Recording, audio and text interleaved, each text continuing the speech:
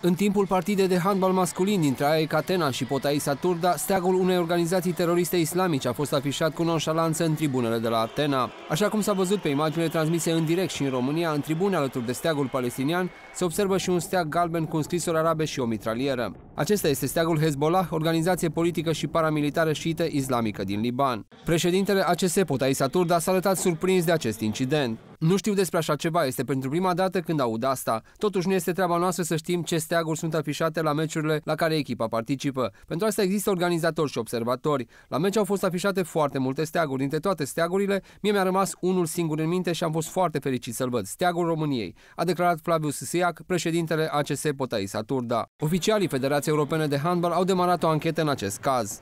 Politica Federației Europene de Handbal interzice afișarea steagurilor cu tentă politică sau simboluri similare la meciuri, fie că e vorba de jucători, oficiali sau spectatori. Este regretabil că unii oameni vor încerca să folosească evenimente sportive importante, cum a fost acest meci de la Atena, pentru a promova o cauză sau o mișcare specifică, a declarat Gege Rowland, purtător de cuvânt Federația Europeană de Handbal.